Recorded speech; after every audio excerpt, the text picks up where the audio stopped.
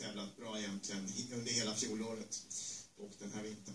Här har vi Sju Fragolini Am i bild. Vi ser huvudstången där också från eh, huvudet bak till eh, eh voilocken kan man säga, ryggstycket där. Och så har vi 11 Lyxhåleryd i bild igen. Det är eh, snart start, en halv minut till start.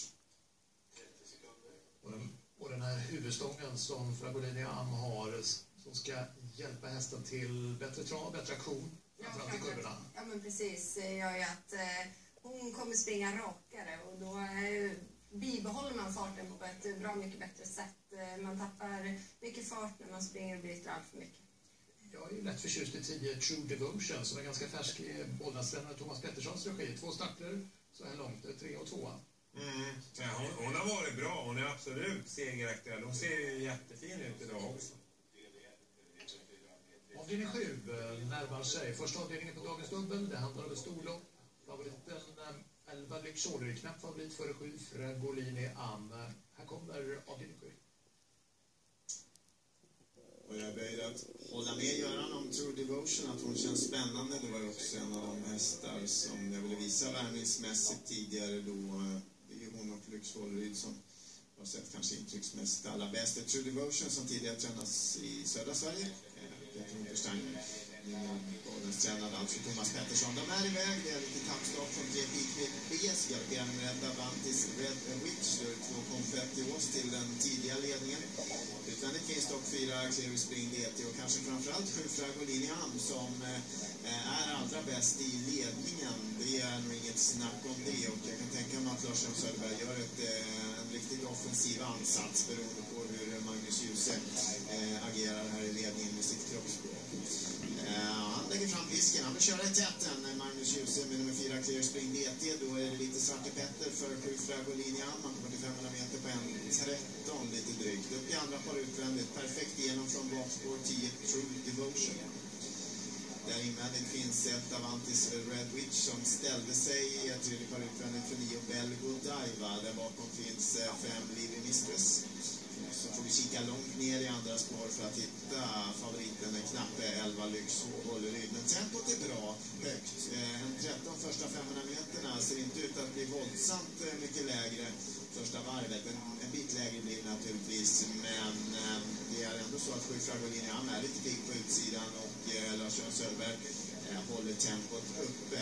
1.14,9 kamp 15 första varvet. Då är fyra clear spring DT märkt redan varvet från mål.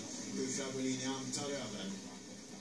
Fram där bakom 10 True Devotion, den som tassar med där bakom är 9 Belgo Daiva. Börjar röra på sig från kön, gör också Rickard Skoglund då bakom eh, 11 Lyx Håleryd som i sin tur har 8 Whitsun Madonna i sin rygg. En häst som avslutade väldigt plusbetonat eh, senast på V75. Dragonian nummer sju har tagit över. Frågan är hur mycket det har kostat. Nu biter det väldigt bra för hästarna från kön. Nio Belgodiva, elva Lyxåleryd ner där bakom. Släpper förbi sig, i alla fall eh, tillfälligt då, åtta Whitsun Madonna. Han eh, vill göra en Erik Adielsson-styrning här kanske. Jag syftar på det förra loppet på Solvalla, Rickard Skoglund, när han sitter kallt kvar på den bortre långsidan. Jagar nu istället nummer åtta Witsan Madonna med sin elva Lyx Håleryd. Sju Fragolini kastar in eh, handduken. Det är åtta Witsan, Madonna som har tagit över. Jagar, gör elva Lyx Håleryd, men kommer väl inget närmare. Sex Als Charmy Flicka, Charmy Flicka, eh, provar längre ner eh, via tredje, men det går väl inte va? Åtta. Witsan, Madonna har greppet, elva Lyx Håleryd kommer tillbaka nu. Witsan, Madonna stumnar till lite grann i sin ensamhet. Åtta Witsan, Madonna för Emilia Leo, eller elva Lyx Håleryd för Joakim Elving och Rickard Skoglund. Det är elva.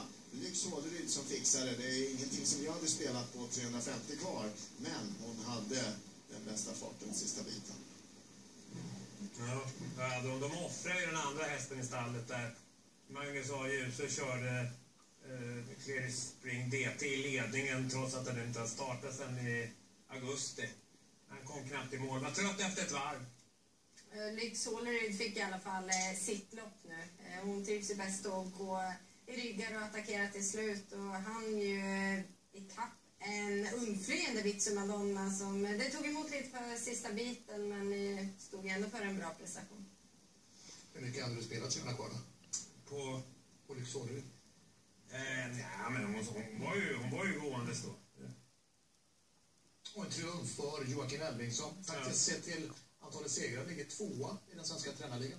Ja. En eh, toppform på stallet. Hade ju en eh, sjukdomshistoria i fjolåret, eh, halv, ja, sista halvan där och eh, han kommer tillbaka nu med stormsteg. Och killen i sulken som toppar den alltså